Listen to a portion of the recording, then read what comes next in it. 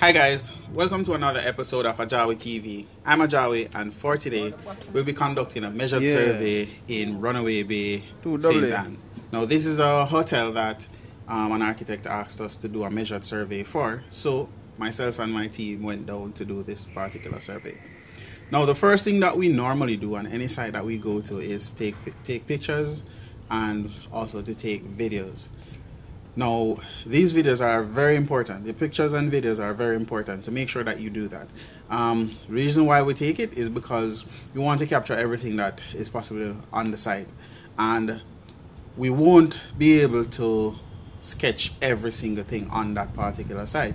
Now, in certain instances, there are there are critical information that we might have missed, and as a result we take pictures so that we can go back to the pictures to reference. And if there's anything that we missed we, we might be able to pick up um, said information within um, the the preparation of the drawings to send to the architect.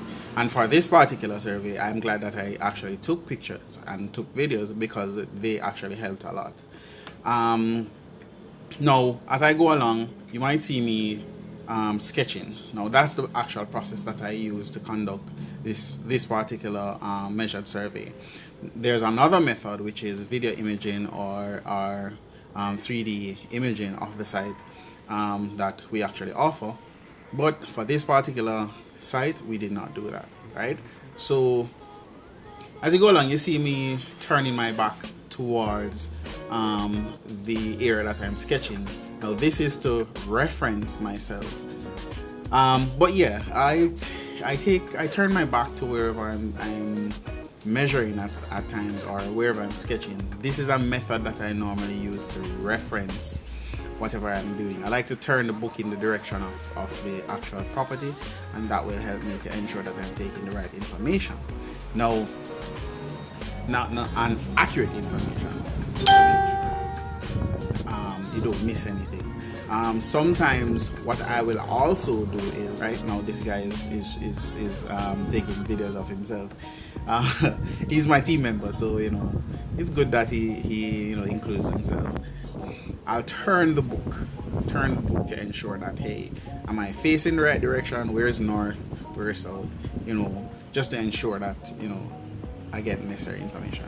But without any further ado, I wanted you to actually hear this particular part of the video because um, this was the most difficult part. It's on the property is on a slope, and as a result of that, it was very difficult.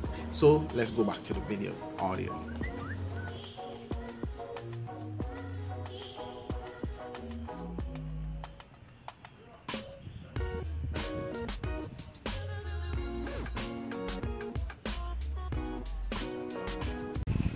We're on the survey and it's it's by far the most difficult survey I've ever done.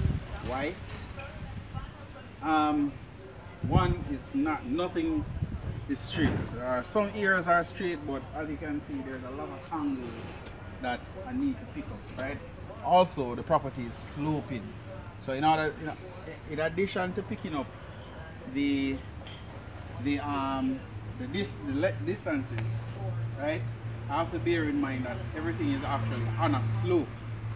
Um, and then those slopes are actually turning in different directions. So that is that is um, what is causing the difficulty and it's taking a long time to come here. This is just a simple walkway and I've done buildings that are way larger than this and the, the simple fact that it is not a level surface is, is what is causing this to take me so much time to complete. Alright? So in, in, in executing this particular job I have to use the triangular method to complete the job, right? What's the triangular method? The triangular method is where if say for example I'm taking this distance, right? To get the to get this. I would take a measurement from this corner to there and from this corner to here. And then I go over to this side and then I take a, a, measurement from this corner to there, this corner to there. What I'm trying to do is to create a triangle, right? That triangle from there, I will get I'll get this length. But in order to check the length and make sure that it is at the right angle, I then create another triangle here. Right? So that triangle now helps me to check to ensure that everything is at the right angle and ensure that everything is lined up and the distances are correct. Because I want a slope.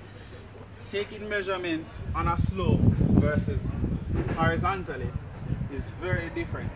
Because once it's on a slope the, the, the length increase. Once it's horizontal it it decreases right? So that is the whole whole thing with taking this actual measurement all right so that's it for today